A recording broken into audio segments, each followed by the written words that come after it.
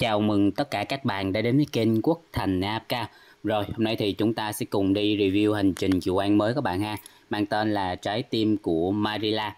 Đây là những phần thưởng mà chúng ta sẽ nhận được. Lần này phần thưởng hơi bèo một xíu nha các bạn, không có ấn đỏ.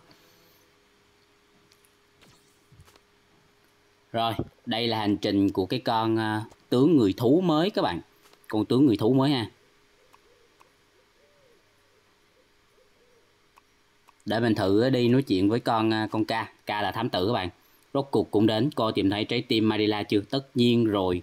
Tôi đã lần ra điểm hẹn của tên trộm thì đáng là bạn cũ của cô. Cô có vỏ bọc hoàn hảo đến khi thăm hắn. Tôi còn có vụ án khác cần giải quyết khi nào lấy được thưởng, đừng quên. Tôi đấy hẹn gặp lại. Rồi, nó hướng chúng ta di chuyển sang cái khu vực trên đây. Và chúng ta sẽ di chuyển sang đây và đánh nha các bạn nha ở đây thì mình đã để tốc độ x1 để nếu mà một sau này cái hành trình kỳ quan này nó ra mắt trên server chính thì các bạn có thể xem và đi theo cho dễ nha. Đây là video review các bạn nha, video hướng dẫn thì mình sẽ up sau.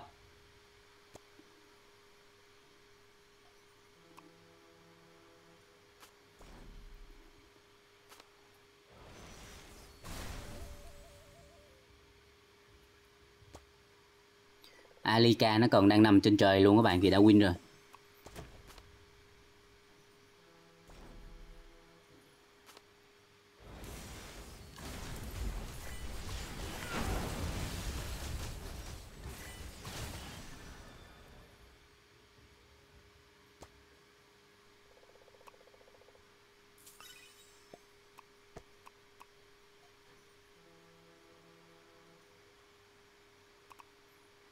Ồ, có một ải tự động biến mất luôn. Ha ha, Karen các bạn. Đừng nói lẫn luôn chứ. Rồi chúng ta sẽ đánh Karen nha. 36 triệu. Wow, lực chiến rất là cao các bạn. Không tính nổi với cái team này. Đặc biệt là Amy nó CC ra. Rồi, chúng ta đã tìm ra được một uh, cái manh mối các bạn. Bây giờ thì chúng ta sẽ quay lại uh, nói chuyện với Oscar thử.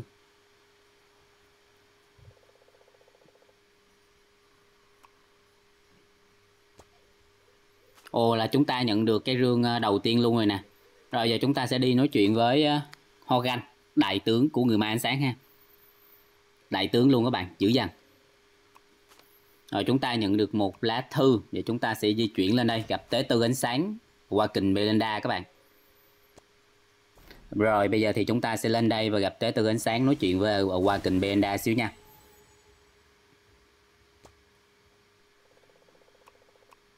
Ok, di chuyển lên đây. Đầu tiên chúng ta sẽ nói chuyện với lính gác.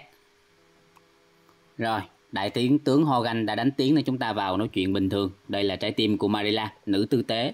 Đại tướng giao phó tôi hộ tống cô đến cõi đá. Rồi, giờ mình sẽ hộ tống Belinda tới cõi đá các bạn. Cõi đá thì chắc là trên này. Rồi, Hogan đang chờ thì chúng ta sẽ di chuyển lên đây nha. Còn sao lính canh nhiều vậy? Hành trình kỳ quan lần này thì à, hơi nhiều quái xíu các bạn. Thì tốn công chúng ta đánh xíu.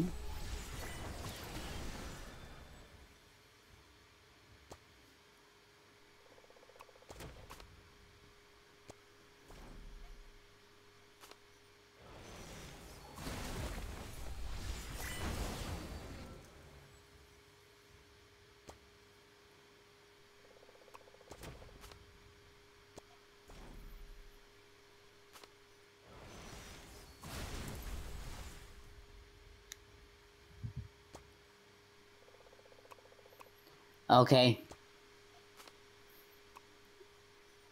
Chúng ta đã xong nhiệm vụ hộ tống các bạn.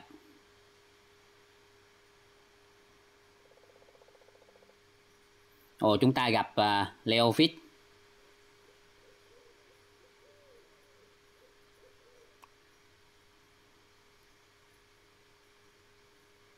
Ồ, kêu mình uh, tiêu diệt uh, công tước bóng tối các bạn. Mình sẽ tiêu diệt công tước bóng tối ha. Leo Fit xúc thôi các bạn.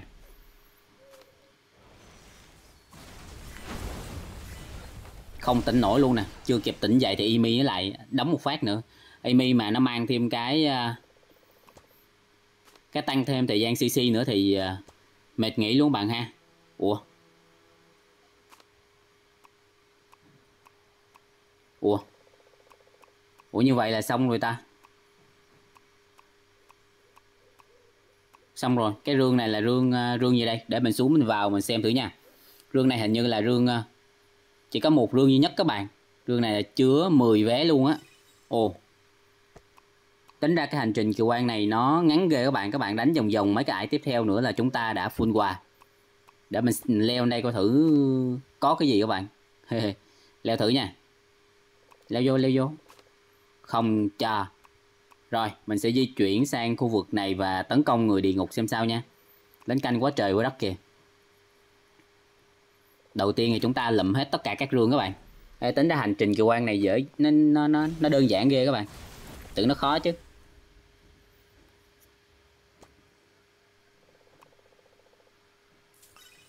Rồi mình sẽ thử lại nói chuyện với lính canh.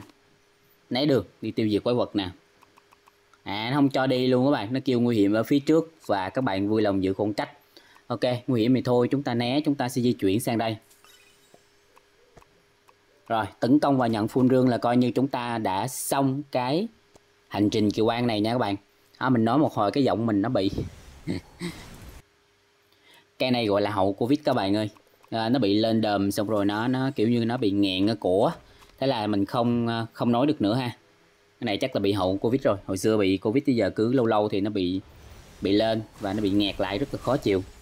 Ok như vậy thì uh, xong nha. Như vậy thì xong. Chúng ta đã xong cái hành trình kỳ quan mới mang tên là trái tim của Marilla. Nói chung là đây là một hành trình kỳ quan khá dễ các bạn. Hành trình kỳ quan này không hề khó ha rồi, cảm ơn tất cả các bạn đã theo dõi video nha. Nếu các bạn thấy hay, đừng quên like, subscribe và nhấn vào chuông thông báo để xem thêm các video mới các bạn. Cảm ơn tất cả các bạn rất nhiều và xin chào tạm biệt. Bye bye.